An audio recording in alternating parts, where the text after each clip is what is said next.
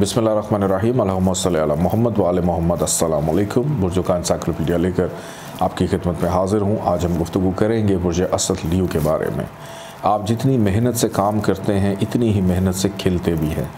यही वो राज है कि आप जिस काम में हाथ डाल दें, इसमें हमेशा कामयाब रहते हैं।